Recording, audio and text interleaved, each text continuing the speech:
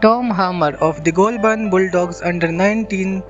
may have already landed the finest conversion of 2022 when gusts of more than 50 km per hour forced the skilled fullback to aim further away from the goals to secure the kick. The wind picked up the ball like it was made of tissue paper when the Bulldogs defeated the Tuggeranong Bushrangers 24-12 at Goulburn Workers Arena on Sunday.